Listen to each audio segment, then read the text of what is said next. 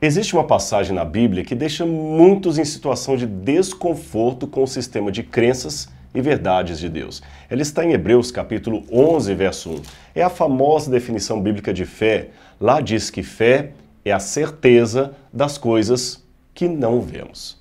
Esta ideia bíblica de fé como a convicção de uma coisa que não pode ser vista é uma tortura intelectual para muita gente. É como se Deus estivesse nos pedindo para acreditar que estamos tomando um sorvete invisível, sem conteúdo e sem sabor. Quem está fora do ambiente religioso considera isto uma atitude ridícula, uma loucura, uma demência intelectual. Aliás, eu conheço descrentes que dizem acreditar apenas naquilo que vem. Em alguns momentos, eu mesmo cheguei a questionar por que Deus não tornava as coisas assim mais claras, você entende? Bastaria ele escrever nas nuvens: Eu existo, e não haveria mais nenhum ateu na terra. Será? A Bíblia diz que nem os milagres de Moisés ou a ameaça das pragas fizeram Faraó se converter ou o povo de Israel valorizar o Altíssimo. Apesar da magnífica abertura do Mar Vermelho, isso não impediu do povo hebreu de duvidar de Deus e adorarem um bezerro de ouro no lugar do Altíssimo. Com essas passagens bíblicas, eu chego, portanto, à conclusão de que o que vemos não é o suficiente para nos fazer acreditar. Aliás, ilusões de ótica estão espalhadas por toda parte e a nossa mente cai nas ilusões de ótica porque ela distorce a realidade. Por isso, precisamos da fé.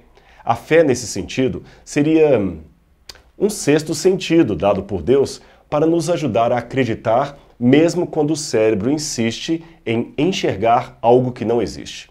Os mágicos, ilusionistas e certas imagens ilusórias nos fazem ver coisas que não existem. O problema está muitas vezes não com o que eu não posso ver, mas com aquilo que eu estou vendo. É assim que funciona a ilusão de ótica. O que você vê nem sempre é o que você pensa que está vendo. É que nós aprendemos a perceber ou enxergar o que estamos olhando. E assim nós entendemos à medida que olhamos. E lógico, ficamos acostumados a ver as coisas como supostamente elas devem ver ou devem ser. Algumas vezes, porém, o nosso cérebro capta pistas falsas. Noutras, ele preenche espaços que estão faltando. Dê uma olhada na internet e você verá uma infinidade de fotos, vídeos, GIFs, todos ilusórios, mas muito convincentes. Assim, eu posso dizer duas coisas para você.